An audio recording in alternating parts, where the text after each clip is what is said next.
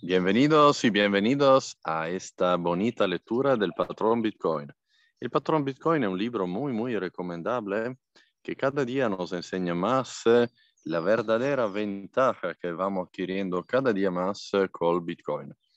Ahora en día mmm, hay siempre menos gente que no haya entendido la, eh, la grande tecnología que es el Bitcoin por nuestro mundo. Y la verdad está cambiando el mundo financiero. Es una tecnología disruptiva.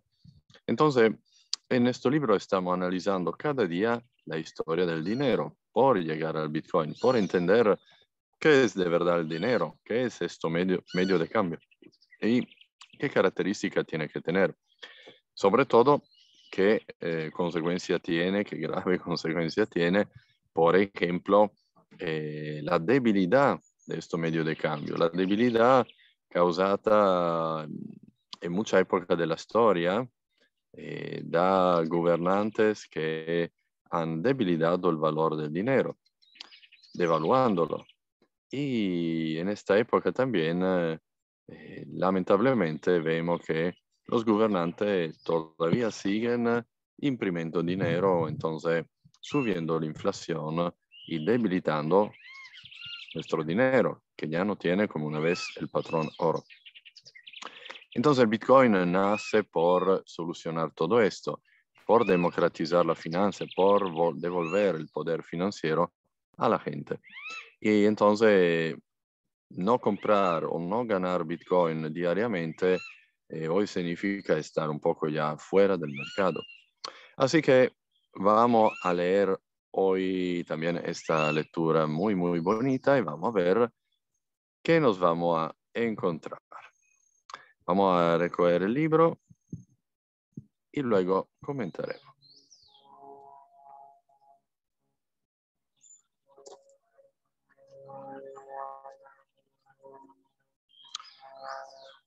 Hemos pasado, hemos pasado en muchos muchos capítulos, capítulos ya muy interesantes.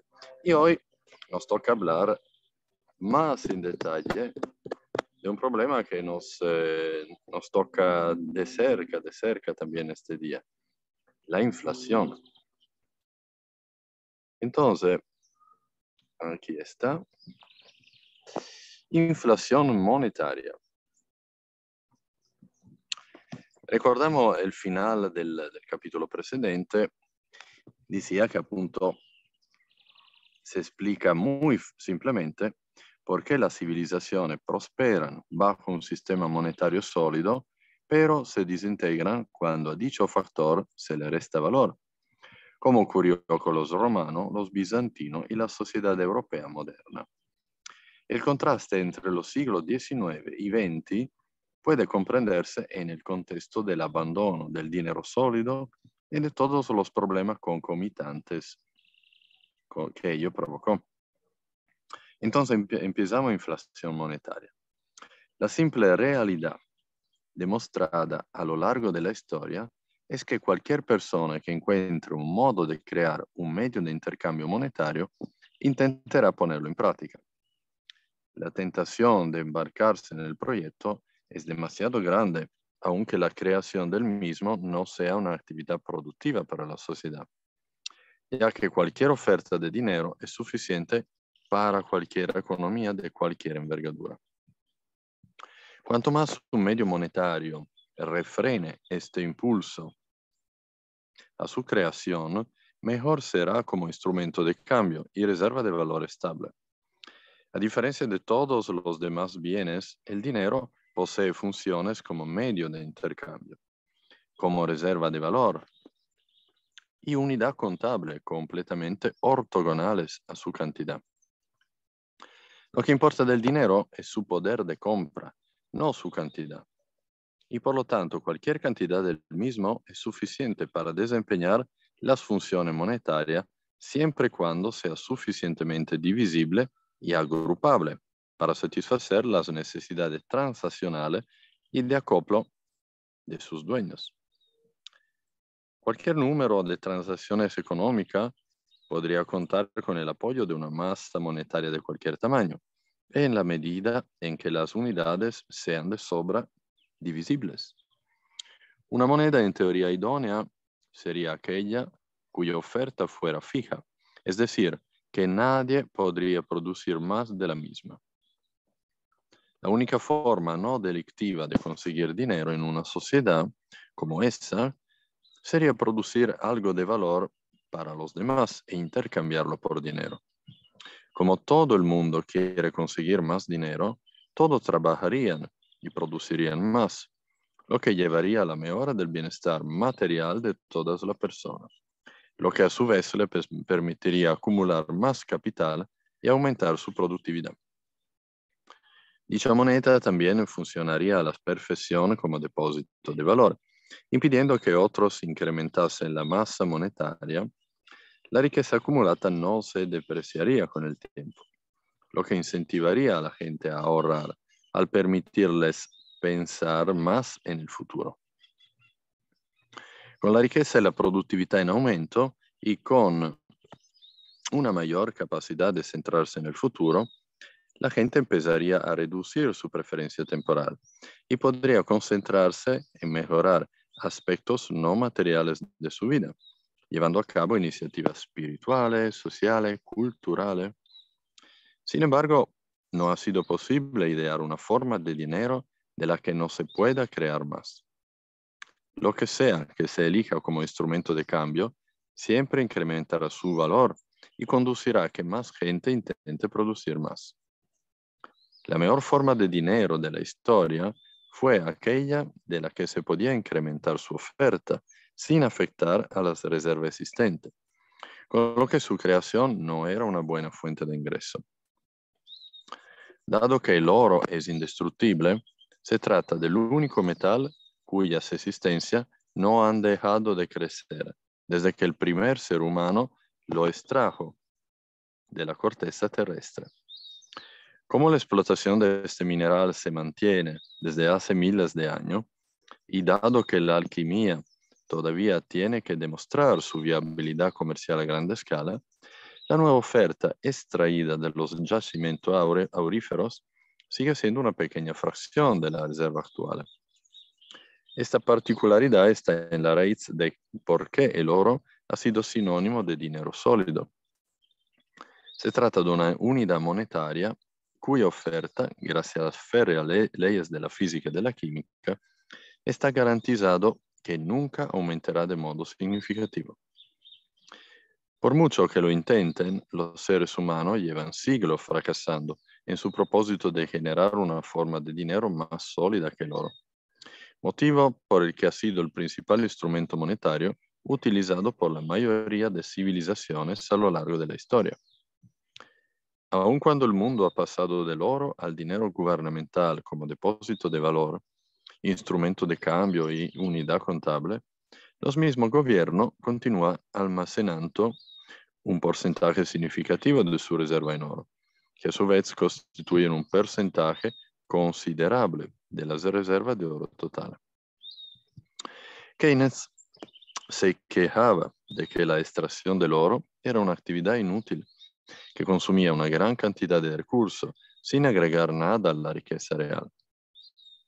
Si bien su crítica contiene cierta verdad, en la medida en que aumentar el medio monetario no incrementa la riqueza de la sociedad que lo utiliza, pasa por alto que el papel monetario del oro es consecuencia de ser el metal que menores recursos humanos y de capital atrae para su prospección y extracción, comparado con todos los demás. Como la oferta de oro solo se puede incrementar en cantidades muy pequeñas, incluso con brusca subida de los precios, y como el oro es muy raro y difícil de encontrar, extraer oro monetario es menos rentable que explotar cualquier otro metal que pudiera asumir un papel monetario. Lo que lleva a la menor cantidad de tiempo humano y recursos dedicado a su extracción. Si se utiliza algún otro metal como medio monetario, siempre que la preferencia temporal de la sociedad caiga y más personas lo compren para ahorrar, incrementando su precio, existirían grandes posibilidades de obtener ganancia en la producción del metal. Como el metal es perecedero, la nueva producción siempre, siempre será mucho mayor frente a la del oro, en porcentaje respecto a la reserva actual, como en el ya señalado ejemplo del cobre, lo cual hará bajar el precio y devaluará los ahorros de los propietarios. En una sociedad de este tipo, el patrimonio les sería efectivamente robado a los ahorradores para recompensar a quienes se dedicarán a la extracción de los metales en cantidad muy por encima de su utilización económica. En una sociedad de este tipo, habría poco ahorro y producción útil. El empobrecimiento se derivaría de la obsesión de producir el medio monetario y llegaría un momento en que la sociedad se vería sobrepasada y sería conquistada por sociedades más productivas, cuyos individuos tendrían mejores cosas que hacer que producir un medio monetario. La realidad de la competencia monetaria ha desfavorecido de forma invariable a individuos y sociedades que invierten sus ahorros en metales distintos del oro y al mismo tiempo ha recompensado a quienes los invierten en oro, porque no puede ser inflado con facilidad y porque obliga a las personas a dirigir sus energías lejos de la producción de un bien monetario y hacia la producción de otros bienes de consumo y servicio. Esto explica en parte por qué el, erudito árabe Ibn Jaldun se refirió a la prospección y explotación del oro como la profesión menos honrada, después de la de quienes secuestran para exigir un rescate. La insensatez de Keynes al condenar el oro como moneda, porque su extracción constituye un desperdicio, radica en que el oro es el metal menos inútil de todos los potenciales metales que podría utilizarse como moneda. Pero la necedad se ve agravada por la solución del mismo Keynes a esta limitación del oro, según la cual propone un patrón monetario fiat que ha desembocado en la dedicación de más tiempo, más trabajo y más recursos a la gestión de la emisión de la masa monetaria y a sacar provecho de ello. Nunca en la historia del oro como medio monetario empleó este a tanto mineros y trabajadores como emplean los actuales bancos centrales y todos los bancos asociados, empresas que se benefician de tener un fácil acceso a la plancha de imprenta de moneda, como se analizará en el capítulo 7. Cuando una nueva oferta es insignificante en comparación con la existente, el valor del mercado de una forma de dinero viene determinado por la disposición de las a acumularlo y a su deseo de gastarlo. Estos factores variarán de modo significativo con el tiempo por cada persona, ya que las circunstancias individuales pasan por periodos en los que se da prioridad a la acumulación de una gran cantidad de dinero y por otros periodos en los que no se le da tanta importancia. Pero en conjunto, dichos factores diferirán ligeramente para la sociedad en general, porque el dinero es el bien comercializable con la menor reducción de utilidad marginal, lo que significa que adquirir más cantidad de dicho bien reduce la utilidad marginal de cada unidad extra. El dinero, que no se tiene por sí mismo, sino con el fin de intercambiarlo por otro bien, verá disminuir su utilidad más despacio que cualquier otro bien, ya que siempre se puede intercambiar por otra mercancía. A medida que aumenta el acopio de casa, coches, televisores, manzano diamante, la valoración marginal que se pone en cada unidad extra disminuye, llevando a un menor deseo de acumular más de cada bien. Pero tener más dinero no es como tener cualquiera de estos otros bienes, ya que cuanto más se tiene, más se podrá intercambiar por más cantidad del siguiente bien que más se valora. En realidad, la, utilidad marginal del dinero sí disminuye, como se desprende del hecho de que un dólar extra de ingreso significa mucho más para una persona cuyos ingresos diarios sean de un dólar. que para quien sus ingresos diarios sean de mil dólares. Pero la utilidad marginal del dinero disminuye mucho más despacio que la de cualquier otro bien, ya que decrece junto con la utilidad de querer cualquier bien, no uno en particular.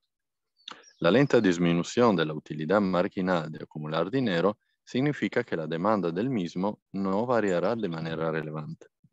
La combinación de esto con una oferta casi constante da lugar a un valor de mercado de la divisa de relativa estabilidad en relación con los bienes y servicios. Esto significa que es poco probable que la moneda se aprecie o devalúe notablemente lo que la convierte en una pésima inversión a lo largo plazo, pero en un buen depósito de valor. De una inversión eh, cabe esperar que tenga un potencial de apreciación considerable, pero que también conlleve un considerable riesgo de pérdida o despreciación.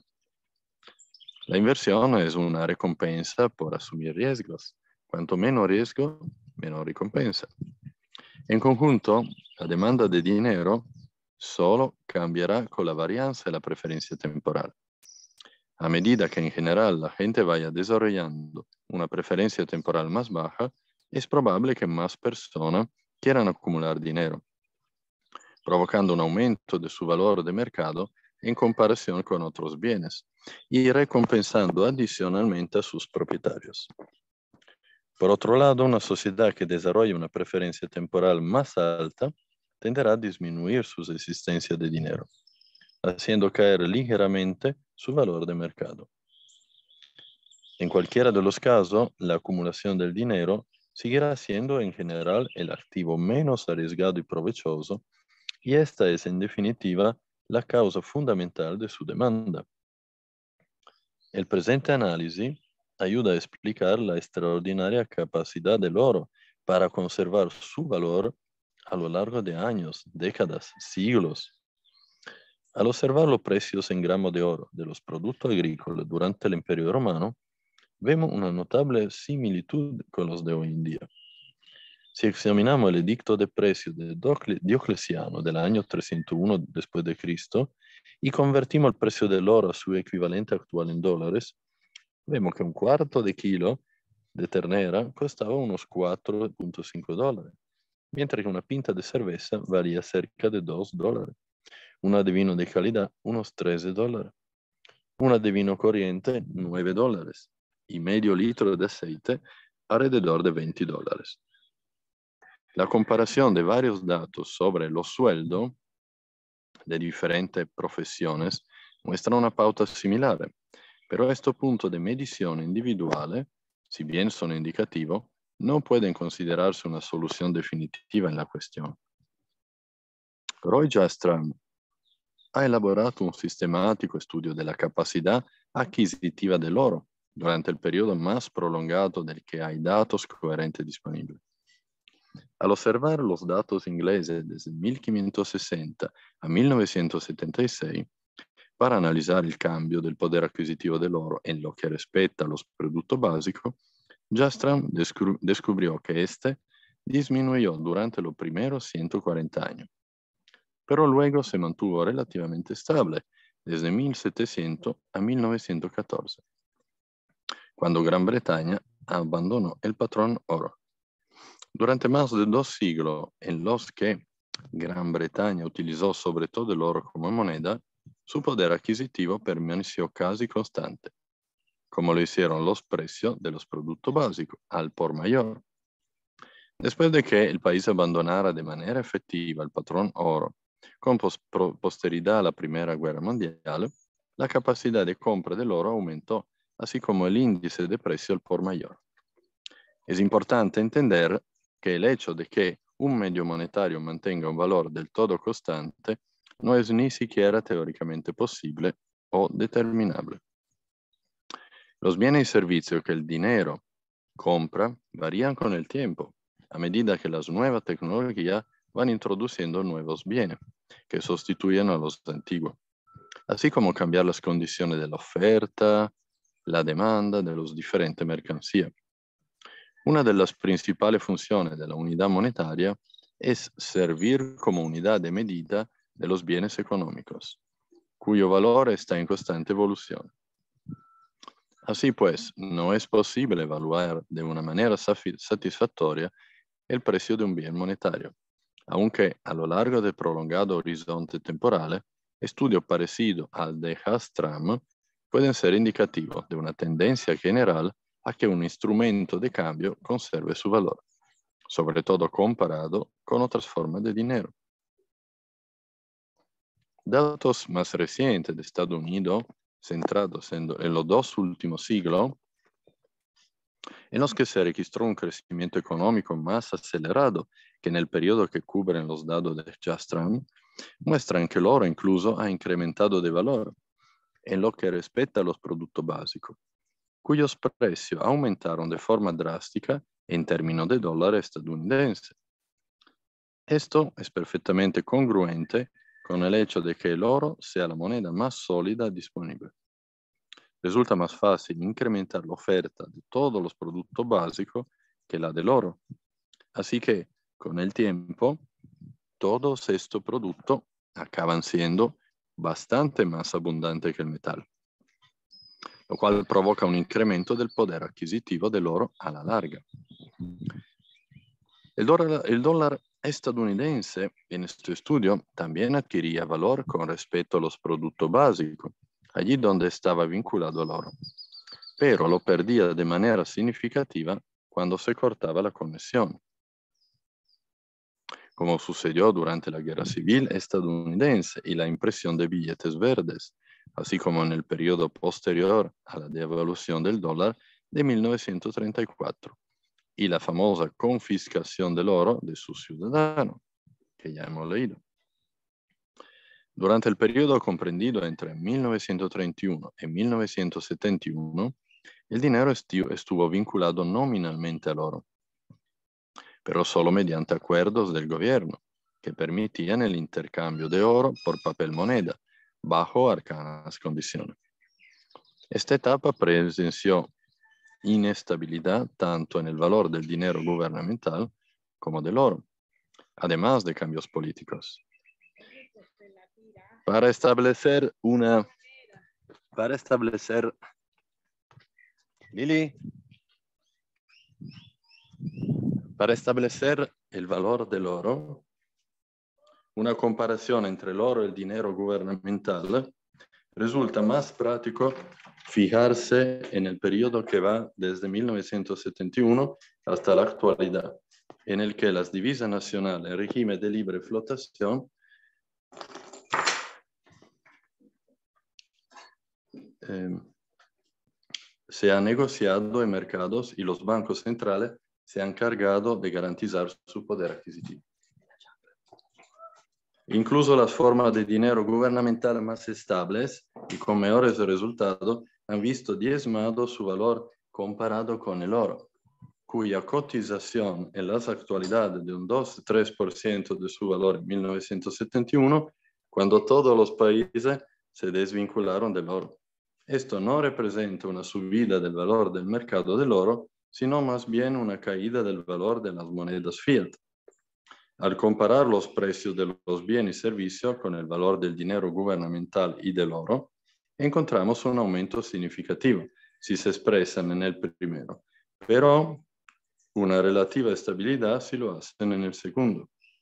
El precio de un barril de petróleo, por ejemplo, una de las materias primas clave de la sociedad industrial moderna, ha sido relativamente constante en relación con el oro desde 1971, aumentando al mismo tiempo en varios órdenes de magnitud en relación con el dinero gubernamental. El dinero sólido, cuya oferta no puede ampliarse con facilidad, probablemente tendrá un valor más uniforme que el dinero inestable, porque su oferta es en gran medida poco flexible, mientras que la demanda social de dinero varía poco con el tiempo a medida que las preferencias temporales presentan variaciones.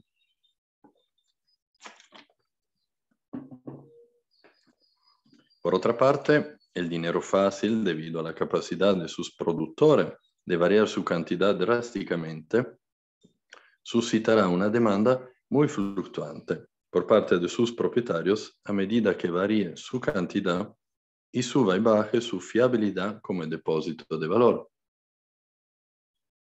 No solo es importante una relativa estabilidad del valor para conservar el poder adquisitivo de los ahorros de quienes los tienen. Cabría decir que es más importante para contribuir a preservar la integridad de la unidad monetaria como unidad contable. Cuando el dinero tiene un valor estable fácil de prever, debido a la pequeña variación en la oferta y la demanda, puede actuar como una señal fiable de la necesidad de introducir cambio en el precio de otro bien o servicio, como ocurrió con el oro. Por otro lado, en el caso del dinero gubernamental, la masa monetaria aumenta mediante la ampliación de la oferta llevada a cabo por el Banco Central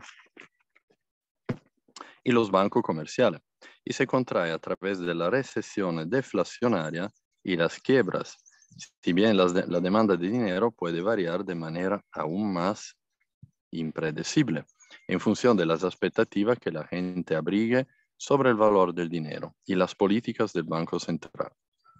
Esta combinación sumamente volátil se traduce en que el valor del dinero gubernamental es impredecible a largo plazo. La misión de garantizar la estabilidad de los precios que recaen en los bancos centrales les hace estar constantemente gestionando la oferta de dinero con la ayuda de sus diversas herramientas, logrando que muchas de las principales divisas parezcan menos volátiles en el corto plazo frente al oro. Pero a la larga, el constante incremento en la oferta del dinero gubernamental, comparado con el aumento continuo y lento del oro, hace que el valor del oro sea más predecible.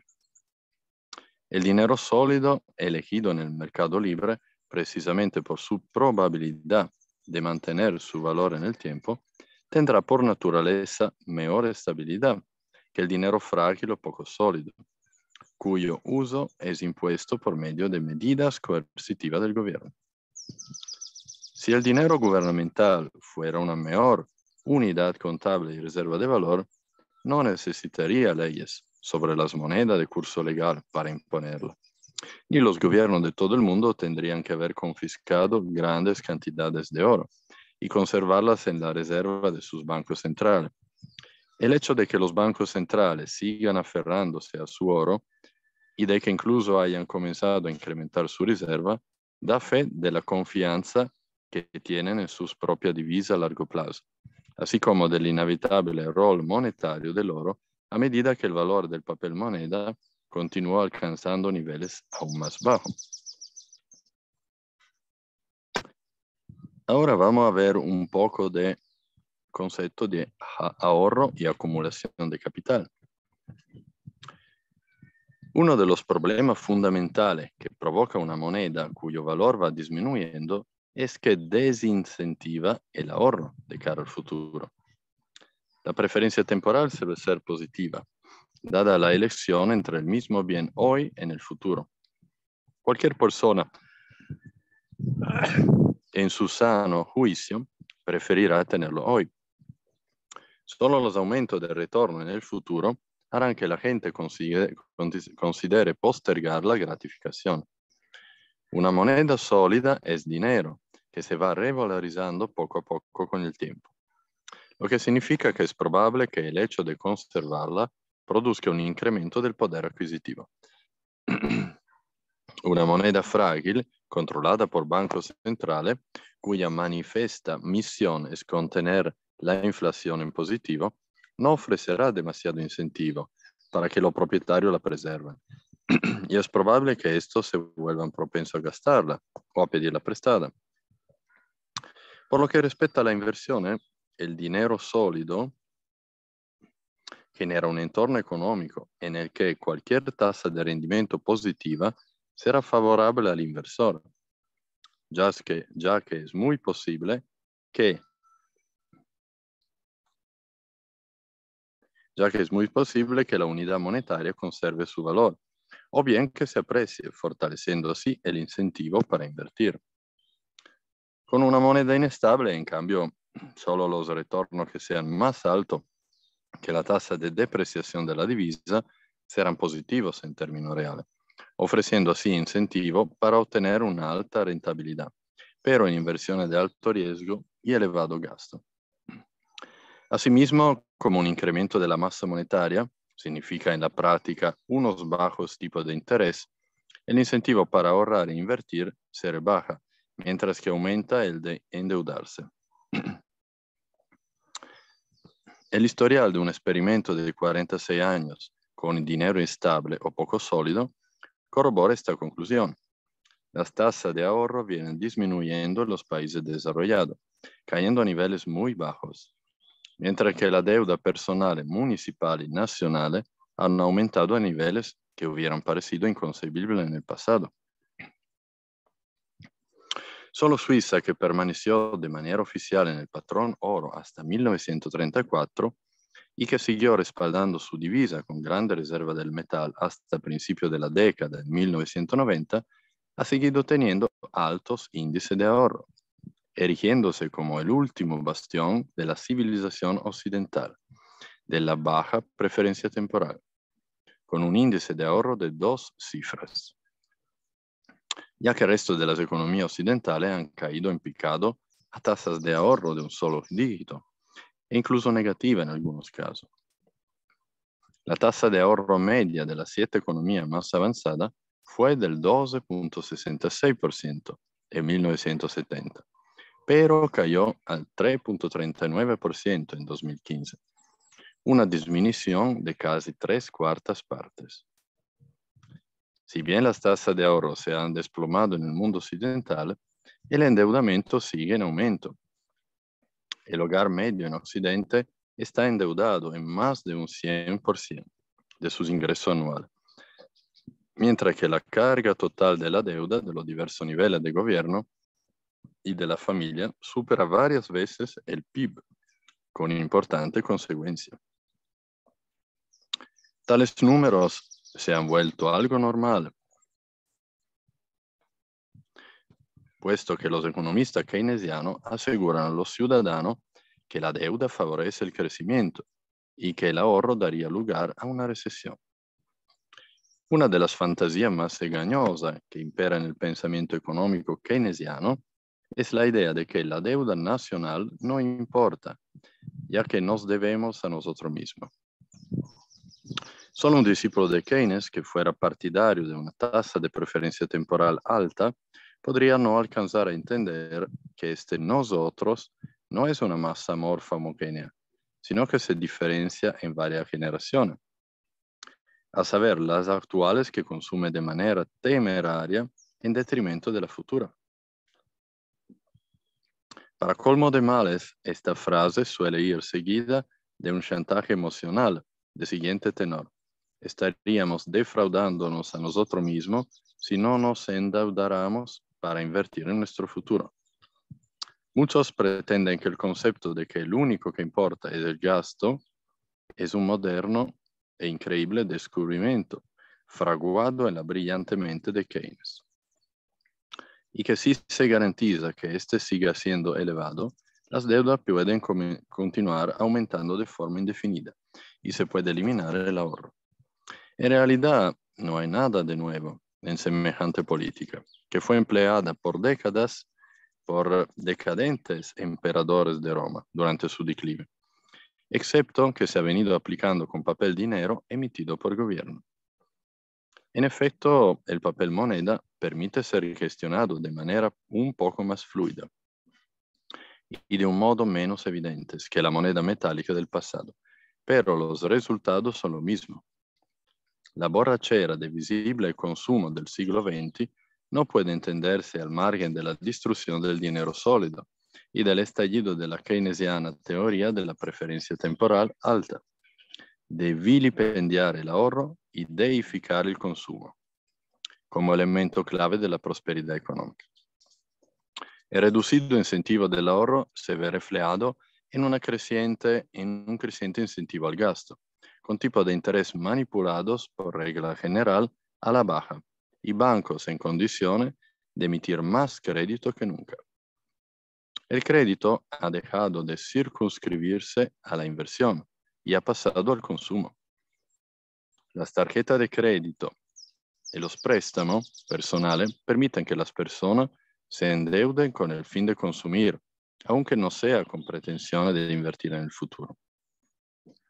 Resulta un signo irónico del grado de la ignorancia económica contemporánea, fomentada por los economistas keynesianos, el hecho que se culpe al capitalismo, un sistema económico basado en la acumulación de capital del ahorro, de dar rienda suelta al consumo ostentoso.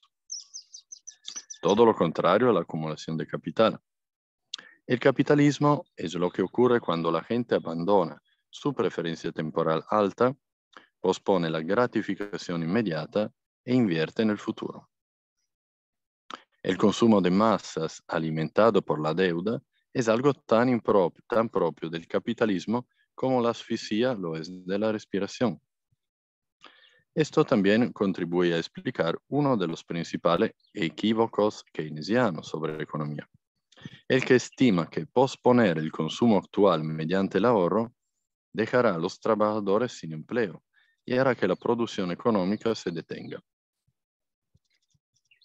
Keynes consideraba que el nivel de gasto en cualquier momento era el factor determinante más importante del estado de una economía, porque al no haber estudiado economía, no entendía la teoría del capital y cómo el empleo no solo no tiene que estar en los productos finales, sino que también puede darse en la producción de bienes, que solo producirá bienes finales en el futuro.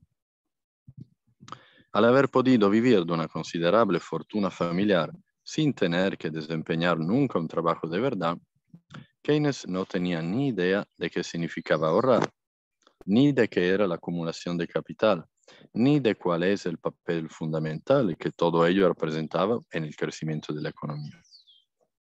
Por consiguiente, Keynes eh, observó que se atravesaba una recesión al mismo tiempo que se experimentaba una caída del gasto de los consumidores y un incremento del ahorro. Y asumía que la relación de causalidad iba desde el aumento del ahorro hasta la disminución del consumo y la recesión. Si hubiera tenido el temperamento para estudiar la teoría del capital, Keynes habría entendido que la disminución del consumo era una reacción natural al ciclo económico, que a su vez estaba causado por la expansión de la masa monetaria como se analizará en el capítulo 6. También había, habría comprendido que las únicas causas del crecimiento económico son la gratificación retardada, el ahorro y la inversión.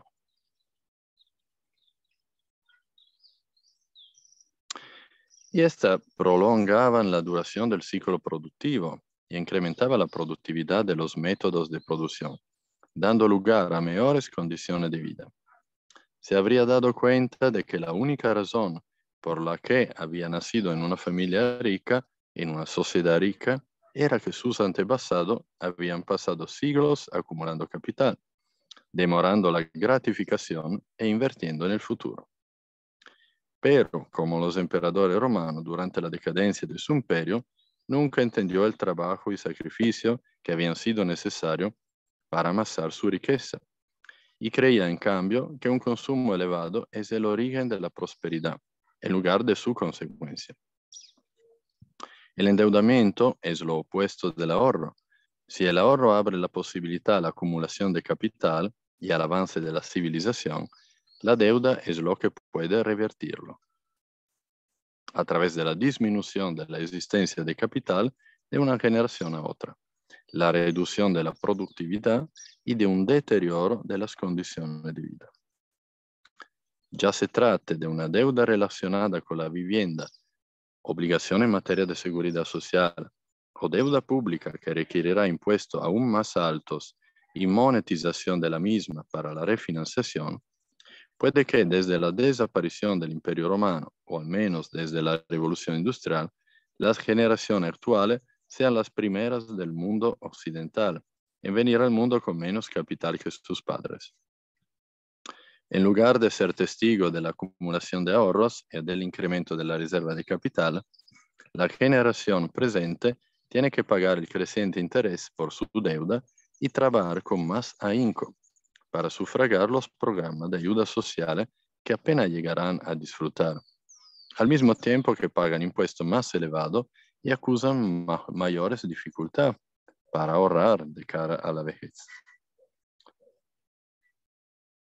Este paso del dinero sólido a su depreciación ha desembocado en que la riqueza acumulada a lo largo de varias generaciones se despilfarra en una o dos por un consumo ostentoso, convirtiendo el endeudamiento en el nuevo método de financiación de los gastos más importantes. Mientras que hace 100 años, la mayoría de la gente pagaba por su vivienda, su educación, matrimonio, con su trabajo o con sus ahorros acumulados. Esta idea nos parece ridícula hoy día. Ni siquiera los más ricos viven ya dentro de sus posibilidades y en su lugar utilizan una riqueza para permitirse préstamo de mayor cuantía y financiar grandes compras. Esta clase de componenda puede prolongarse durante un tiempo, pero no puede confundirse su duración con su sostenibilidad, ya que no es más que el consumo sistemático de la existencia de capital de una sociedad. Cuando se nacionalizó el dinero, este se puso bajo el control de políticos que funcionan dentro de horizonte temporal breve, de unos cuantos años, y que hacen todo lo posible por salir reelegidos. Es lógico que un proceso de esta índole lleve a la toma de decisión cortoplacistas, con las que los políticos hacen un uso indébito de la moneda para financiar sus campañas de reelección, a expensas de generación futura. Como señaló Mencken, toda elección es una suerte de subasta anticipada de bienes robados.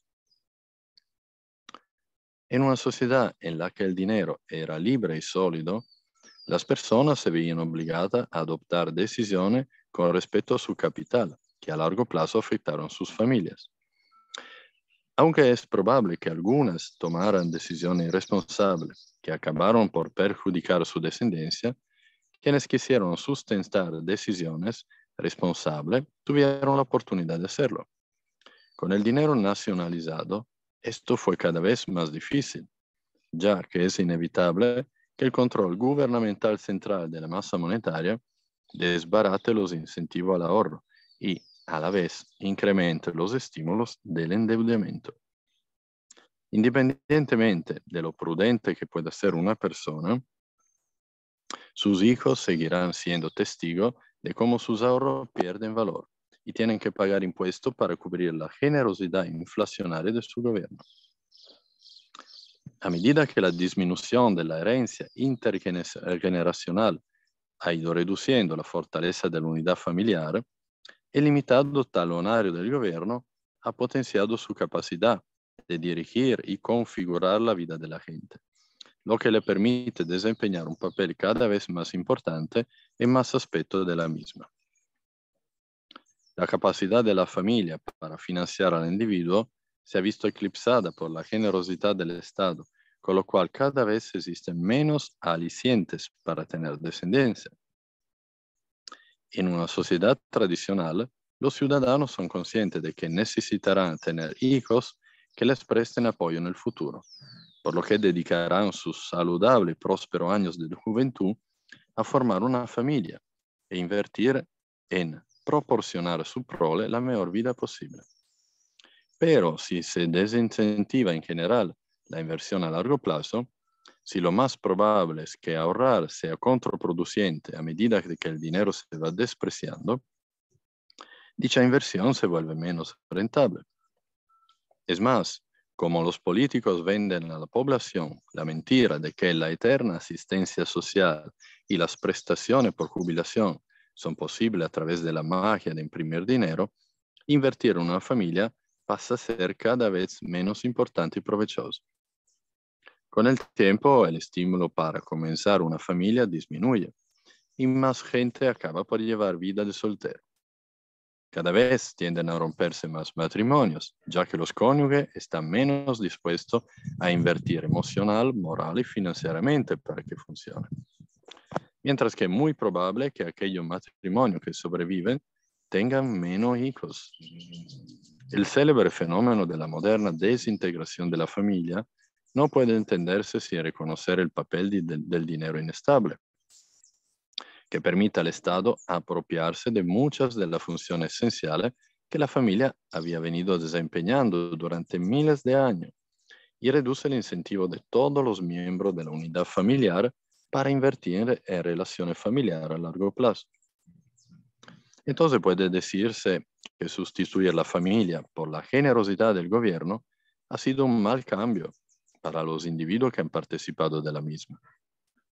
Varios estudios demuestran que el sentimiento de satisfacción personal depende en gran medida del íntimo establecimiento de vínculo familiar a largo plazo, con una pareja y con los hijos. Muchos estudios muestran también que los índices de depresión y de enfermedad psicológica aumentan con el tiempo cuando se rompe una familia, sobre todo en las mujeres. Con suma frecuencia los casos de depresión y de trastorno psicológico tienen una ruptura familiar como causa principal.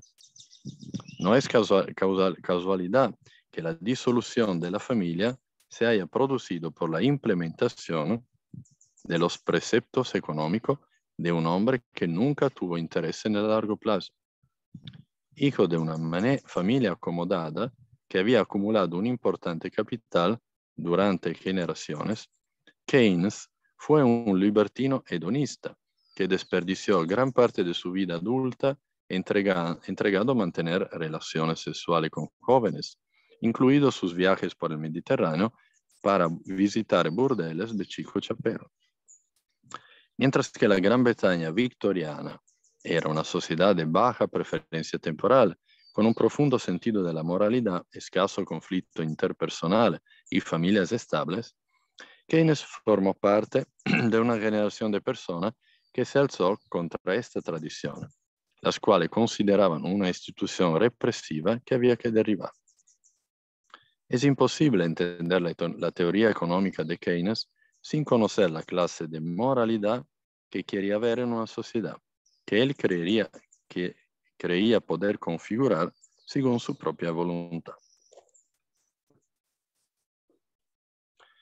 Entonces, hoy terminamos la lectura aquí. Hemos visto el concepto muy importante de que el dinero no simplemente es el método de cambio de la riqueza, pero influye muchísimo en la sociedad, influye muchísimo en el intercambio, digamos, generacional. Entonces hemos visto cómo el dinero devaluado y controlado del, gobierno empobreció también la sociedad, también generaciones. Así que nos acercamos a ver cómo el Bitcoin, esta tecnología moderna, nos puede devolver el pasado y todo lo que la economía y la familia hacían de bien por futuras generaciones. Así que enhorabuena por haber participado también en Facebook y nos veremos mañana a la misma hora. Feliz día.